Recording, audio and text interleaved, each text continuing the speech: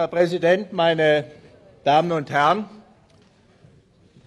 Die Menschen in diesem Land erwarten, dass die Politik die Flüchtlingskrise zumindest mal ansatzweise in den Griff bekommt. Dass es nicht nur täglich neue Vorschläge gibt aus Bayern, von Obergrenzen, aus Rheinland-Pfalz, von Plänen A2, A3, A4, auch nicht nur Absichtserklärungen in Berlin zwischen den Parteivorsitzenden, wo dann der eine oder andere Parteivorsitzende hinterher sagt, er hätte es zwar beschlossen, aber nicht gelesen und deshalb gilt es nicht.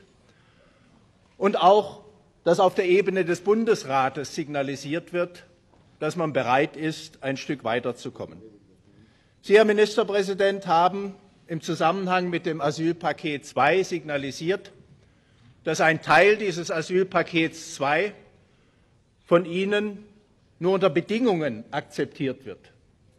Wenn es nämlich um die sicheren Herkunftsländer geht, um die Maghreb-Staaten, diese als sichere Herkunftsländer auszuweisen, haben Sie erklärt, das können Sie sich eventuell vorstellen, aber nur unter Bedingungen, nämlich unter der Bedingung, dass eine Altfallregelung, ein Bleiberecht für diejenigen, die schon länger da sind, etabliert wird. Die Folge ist, dass sich jetzt der Entscheidungsgang verzögert. Die Folge ist, dass das Asylpaket II zumindest vor diesen Landtagswahlen nicht mehr auf den Weg kommt. Und damit machen Sie, Herr Ministerpräsident, ganz persönlich ein Konjunkturprogramm für die Rechtsradikalen. Wenn nämlich jetzt wieder nichts passiert in dieser Hinsicht. Es ist höchste Zeit, es ist höchste Zeit zu signalisieren, dass man zur Zusammenarbeit bereit ist, dass man bereit ist, Entscheidungen zu treffen. Und das ist auch notwendig an der Stelle. Die Grünen reden es immer herunter, die Ausweisung von sicheren Herkunftsländern. Da heißt es, es sei Symbolpolitik, es bringe nichts, es seien ohnehin wenige. Schauen wir uns mal die Zahlen an. Im Dezember 2015 hatten wir im Bundesgebiet einen Zugang von 2300 Flüchtlingen aus Algerien und von etwa 3000 aus Marokko, sind in der Summe über 5000. Im Jahr 2014 hatten wir insgesamt weniger als 4000. Und die Schutzquoten Algerien 1,6 Prozent, Marokko 3,7 Prozent, Tunesien 0,2 Prozent. Bereits in der Landtagsdebatte vom 1. Oktober 2015 habe ich gefordert, diese Länder zu sicheren Herkunftsländern zu machen. Und in den Tagen zuvor hat sich ja Ihre Integrationsministerin ähnlich geäußert gehabt, damals schon. Passiert ist nichts. Es wurde weiter heruntergeredet, es wurde weiter von Symbolpolitik erzählt. Und jetzt schauen wir uns mal die Zahlen vom Balkan an. Da wurde ja auch behauptet, das bringe nichts. Frau Sitzmann ist durch die Lande gereist und hat erklärt, das bringe zehn Minuten Bearbeitungszeit beim BAMF, das sei alles. Die Berechnung müssten Sie noch mal offenlegen, Frau Sitzmann, wie Sie auf die zehn Minuten gekommen sind. Faktum, Faktum ist aber, dass die Zugangszahlen dramatisch gesunken sind. Vom Kosovo hatten wir in Baden-Württemberg im Februar 2015 Zugangszahlen von 2063.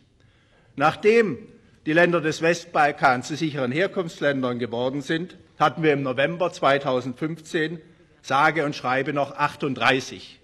Da sage noch einer, das bringe nichts. Da sage noch einer zehn Minuten beim BAMF. Jetzt schauen wir uns mal die, Albanien, die Zahlen von Albanern an. Juli 2015 1391, Januar 2016 52. Da sage noch einer zehn Minuten beim BAMF, das bringe nichts. Nein, Sie wollen nicht. Das ist das Problem. Sie wollen nicht. Sie verhindern die Lösung des Flüchtlingsproblems. Und in anderen Bereichen kommen Sie auch nicht weiter. Die Vernetzung der Landeserstaufnahmestellen immer noch nicht erreicht. Wenn man Landeserstaufnahmestellen besucht, wird einem gesagt, wir registrieren die Flüchtlinge. Es kann sein, sie gehen dann wieder und werden irgendwo anders neu registriert und eine Vernetzung ist bisher nicht geleistet. Das ist Staatsversagen, also wie es besser nicht denkbar ist, meine Damen und Herren. Und bei den Abschiebungen, bei den Abschiebungen kommen Sie auch nicht voran. Von 2010 auf 2015 rühmen Sie sich, Sie hätten die Abschiebezahlen verdreifacht. Von 800 im Jahr 2010 auf 2400 etwa 2015. Aber die Zugänge haben sich verzwanzigfacht, von 5.000 auf 100.000. Das ist die Realität in diesem Land. Handeln Sie, meine Damen und Herren. Wir haben 25.000 geduldete Ausreisepflichtige. Das ist zu viel. Das Sachleistungsprinzip. Im September haben Sie zugestimmt im Deutschen Bundesrat, dass die Möglichkeit geschaffen wird, vom Geldleistungs- zum Sachleistungsprinzip zu kommen. Da ist mittlerweile ein halbes Jahr vergangen. Was haben Sie erreicht? Nichts haben Sie erreicht. Sie erzählen, wir denken über eine Wertkarte nach. Da gibt es demnächst dann eine Ausschreibung und bis zur Wahl kriegen wir nichts mehr hin. Das ist das eigentliche Konjunkturprogramm für die Rechtsradikalen. Handeln Sie, Herr Ministerpräsident. Bei der Gesundheitskarte sind Sie ebenfalls nicht weitergekommen bisher. Und hören Sie endlich auf mit dieser unseligen Tradition des Kuhhandels. Immer dann, wenn Sie im Bundesrat einer Verbesserung zustimmen, verlangen Sie Gegenleistungen. Für die einen sicheren Herkunftsländer wird dann die Residenzpflicht ausgehandelt. Hinterher geben Sie sie wieder auf. Für die nächsten sicheren Herkunftsländer wird die Gesundheitskarte ausgehandelt. Und jetzt, jetzt kommen Sie mit einer Altfallregelung, Herr Ministerpräsident, und verhindern damit die Umsetzung des Asylpakets II. Ich halte das für zynisch. Ich halte das für zynisch. Gerade für einen Grünen politische Verfolgung ist nämlich unteilbar, Herr Ministerpräsident. Entweder ein Land ist, äh, ist sicher, dann ist es auch ein sicheres Herkunftsland. Dann braucht man keinen Kuhhandel. Oder ein Land ist nicht sicher, dann kann man es auch durch einen Kuhhandel nicht zu einem sicheren Herkunftsland zu machen. Hören Sie auf mit dieser zynischen Politik.